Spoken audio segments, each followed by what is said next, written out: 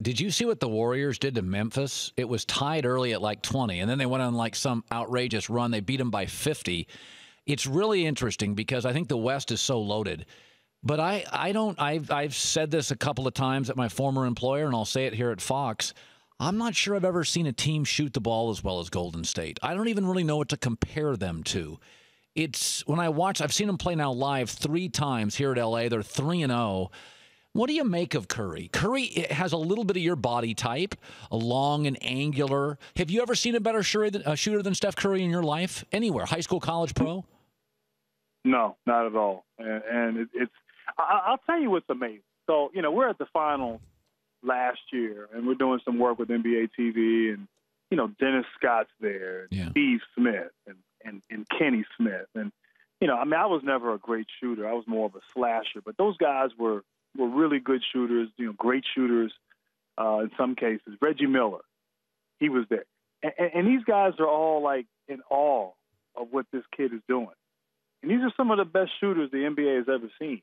And we're talking about not just making the amount of three pointers he's made, but how he's making, how he's like making other NBA players look silly. He's taking shots with people hanging all over him. He's six feet behind the three point line.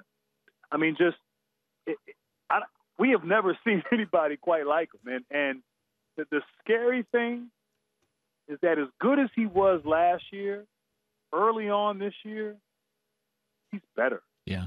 I mean, he has improved. He's, I mean, it's just he's playing at a clip right now where I know we're only a week and a half into the season, and it might be a bit premature, but I mean, he, he's he's your he's your MVP right now. He's got to be. Yeah, I mean, uh, and so it's really a credit to this kid who came in and people were unsure if he would really be able to su- survive uh, and or thrive in the NBA, but you know, he's just gotten better every year. You know, he was a shooter. Uh, they thought he, he was more of a shooting guard. He, he worked to become a point guard. He worked on his ball handling. His ball handling has improved to the point where now he's one of the best ball handlers in the league. Uh, but his shooting has gotten better. His okay. release is quicker. You know, he just he has improved his game. So he hasn't. He's been, you know, he's like a guy on a mo- on a mission right now. And he's really setting the tone for Golden State to start this year. Where look, last year was last year. We're still in that pursuit mode. We're still kind of going for it. We're still hungry. Uh, we're not going to rest on our laurels. So, and what's amazing is that we've been conditioned, Collins, that you know the exciting players, the players that are marketable, the guys that everyone wants to be like, everyone wants to watch, are the guys that play above the rim the guys that are whether it's Dr. J or Michael Jordan or Kobe Bryant or LeBron James.